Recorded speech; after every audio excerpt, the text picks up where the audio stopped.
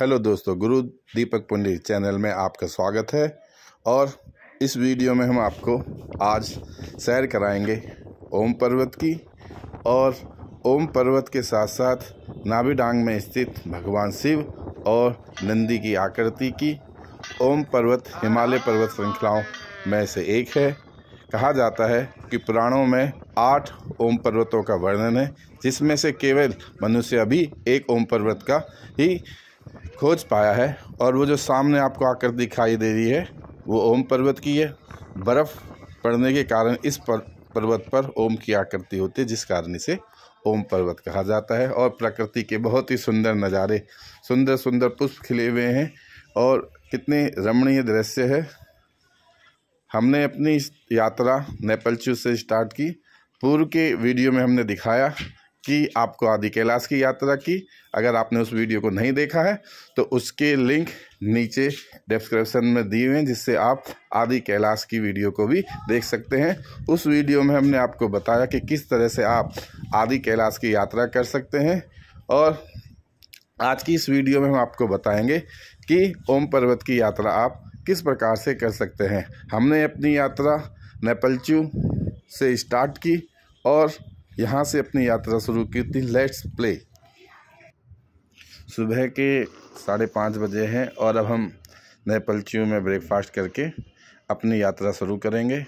और इस समय मैं और मेरे साथी अतुल दोनों ब्रेकफास्ट कर रहे हैं। आपको कैसा लग रहा है? बहुत ही टेस्टी अब मज़ा आ गया। ये देखिए ये है नपलचू की मैगी।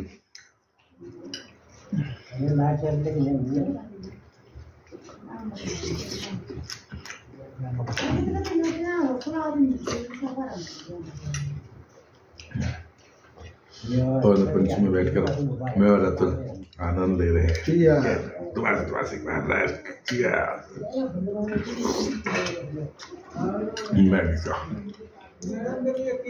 और अब हम नेपच्यून पहुँच गए और नेपच्यून से अब हम गुंजी और गुंजी से अब ओम पर्वत की यात्रा स्टार्ट कर रहे हैं।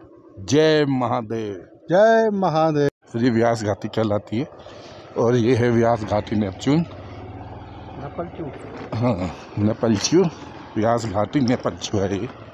और उधर जो दिखाई दे रहा है वो गुंजी गाँव है। और वहाँ से आगे लगभग 20 या 21 किलोमीटर आगे ओम पर्वत है। अब हम वहाँ की ओर बढ़ेंगे।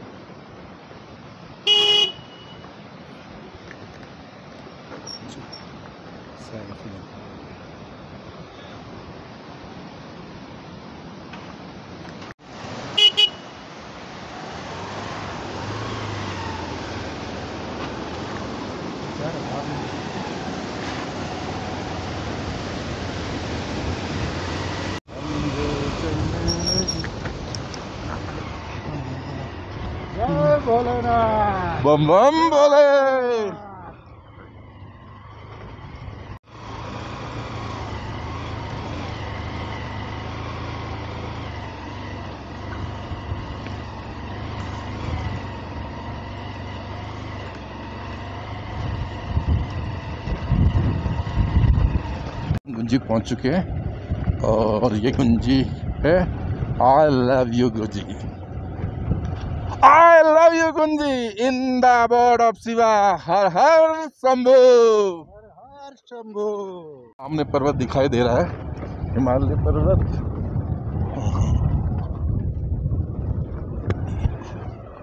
और वो नेपाल में स्थित है। बर्फ़ से एकदम ढका हुआ इस समय बर्फ़ पिघल रही है और बादल बन के ऊपर आसमान में देख सकते हैं आप।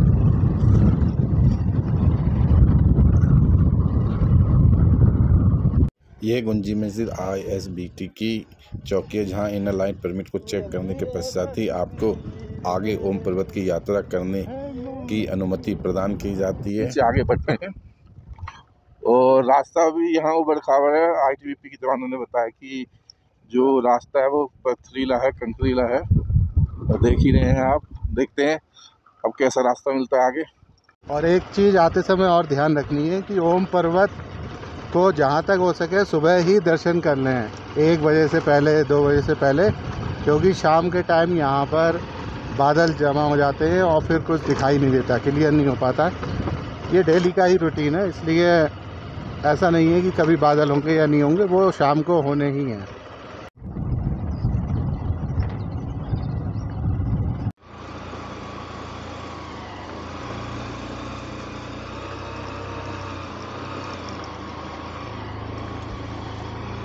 कितने खतरनाक पहाड़ हैं, और वो सामने देख रहे हैं आपको, एक सूखे हुए, बिल्कुल सूखे पहाड़। और वहाँ देखो कितनी लैंड स्लाइडिंग हो रही है। और उधर, अरे, बर्फ़ भी गिरी हुई है, देखिए वहाँ बर्फ़। उस पहाड़ पे बर्फ़ भी है।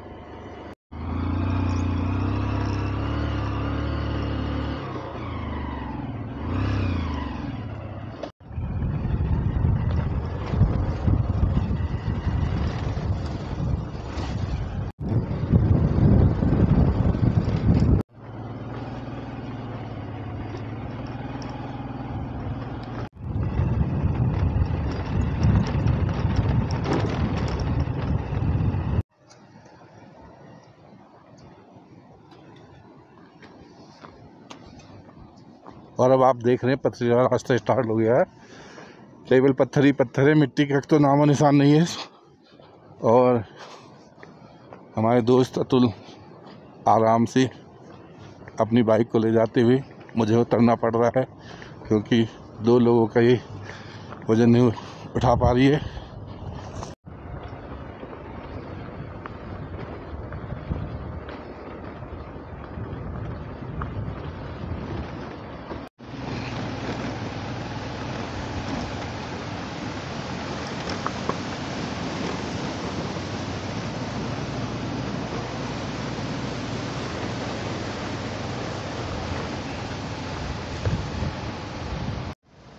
ऊपर ग्लेशियर से पिघलकर बर्फ़ पानी के रूप में आ रहा है और अब देखिए, पानी जो बहकर आ रहा है, उसने एक विशाल नाले का रूप ले लिया और पानी का वहाव बहुत ही तेज़ है, जिससे हमें अपनी मोटरसाइकिल को पार कराना है। और आप देख सकते हैं कि ये मोटरसाइकिल पार कराई जा रही है।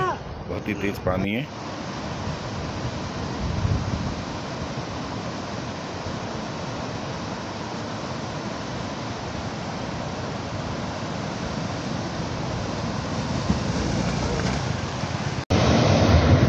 देखिए, यहाँ पर अभी मैं बाइक लेकर आया हूँ बाइक बीच में फंस चुकी थी। फिर तो मुझे एक बार को लगा कि अब तो लग रहा है गई बाइक और यहाँ पर साथी आ गए हैं, वो भी जूते पूरे भीग चुके हैं, बर्फीले पानी में। लेकिन लौटते टाइम पता नहीं क्या होगा। और ये ये साथी, बिल्कुल बर्फीला है। मत कर मत कर मत कर नहीं नहीं नहीं। एक गणेश नाला जो कहलाता है हम्म। बहुत।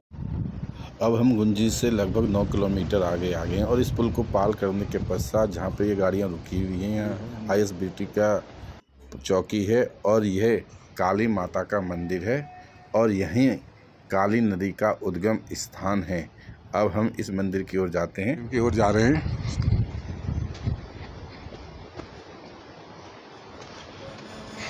जय माँ काली।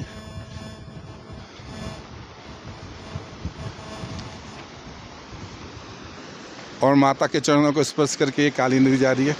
तू शक्ति सीता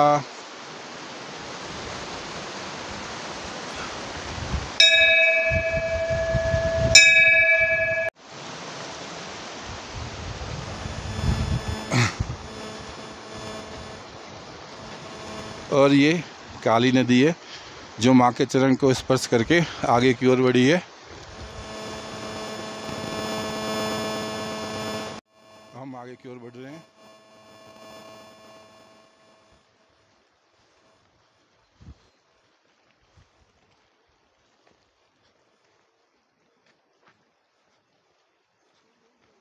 माँ काली।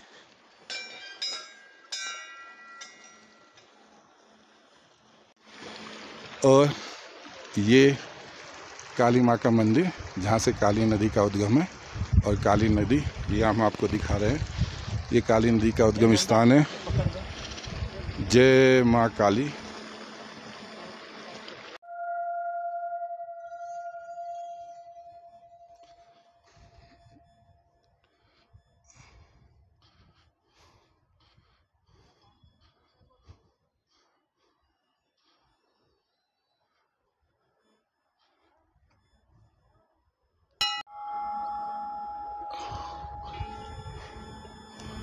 और अब हम माँ काली के मंदिर में पहुँच गए हैं।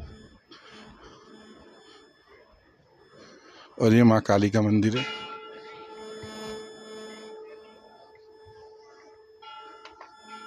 जय माँ काली।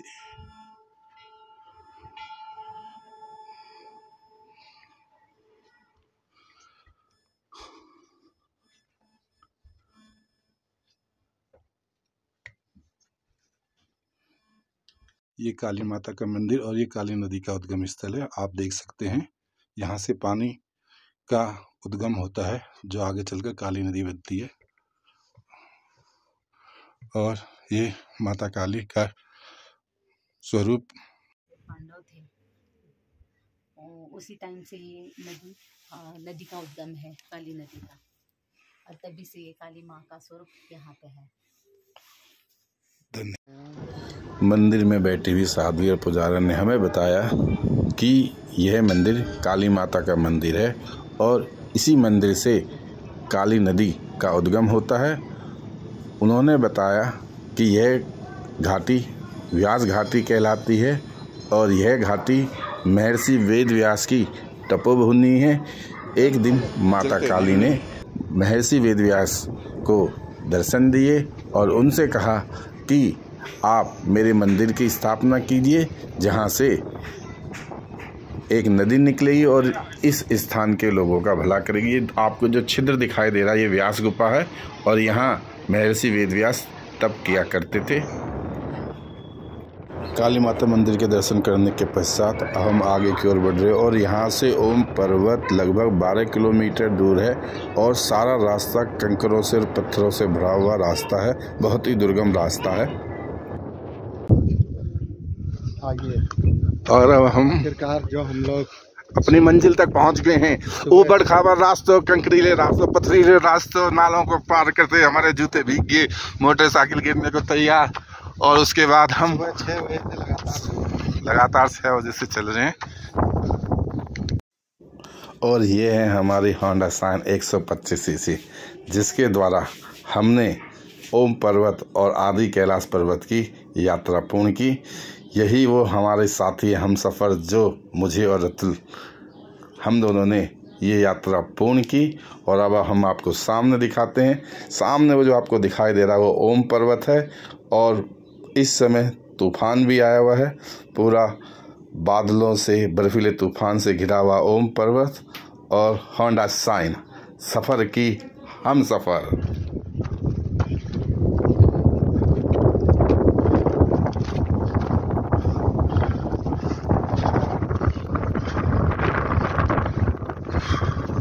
और बहुत ठंडी बर्फीली हवाएँ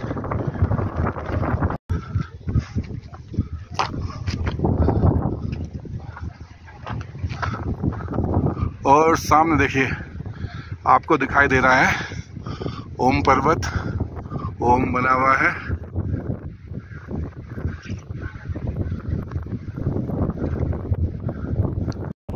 ओम पर्वत, हिमालय की 6191 मीटर ऊंचाई पर स्थित पर्वत श्रृंखलाओं में से एक पर्वत है, जो वर्ष भर बर्फ़ से ढका हुआ रहता है।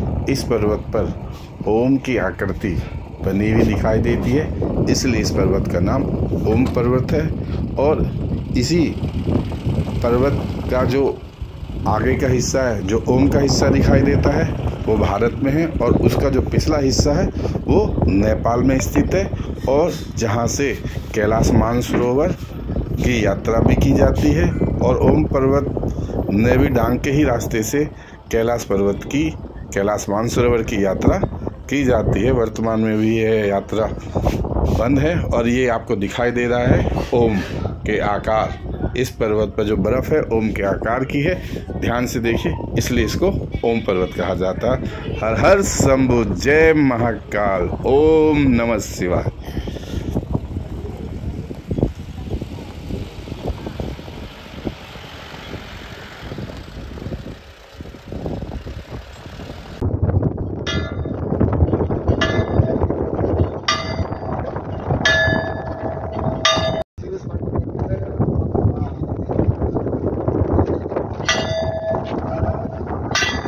हर हर महादेव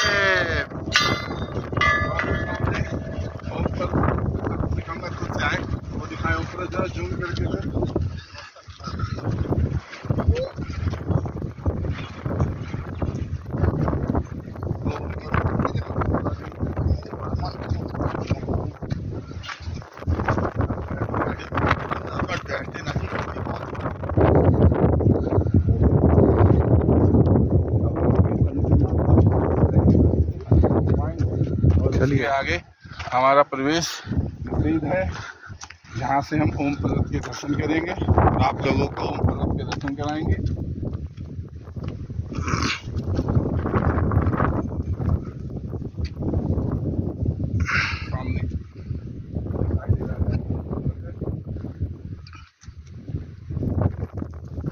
जय हो जय हो शंकरा। जय हो जय हो शंकरा, जय हो शंकरा, जय हो जय हो शंकरा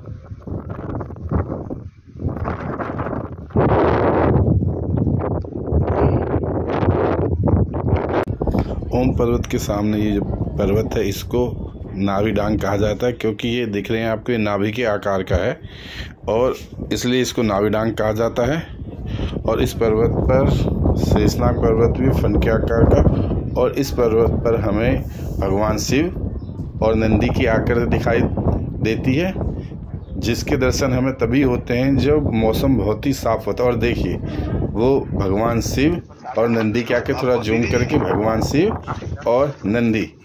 तो नावी डांग पर अगर मौसम अच्छा तो ही यह आकृति हमें दिखाई देती है। और यह शंकर जी हैं दर्शन बहुत ही दुर्लभ है बहुत ही कठिन यात्रा करने के पश्चात आपको भगवान शिव और नंदी के दर्शन होते हैं क्योंकि नावी से नावी डांग की यात्रा और ओम पर्वत की यात्रा गुंजी से 21 किलोमीटर की है। और जो बहुत ही कठिन पथरीले रास्तों की है, उसको लिए आपको कच्चे पहाड़ और ग्लेशियर से पिघलती नदियों के नाले पार करने पड़ेंगे।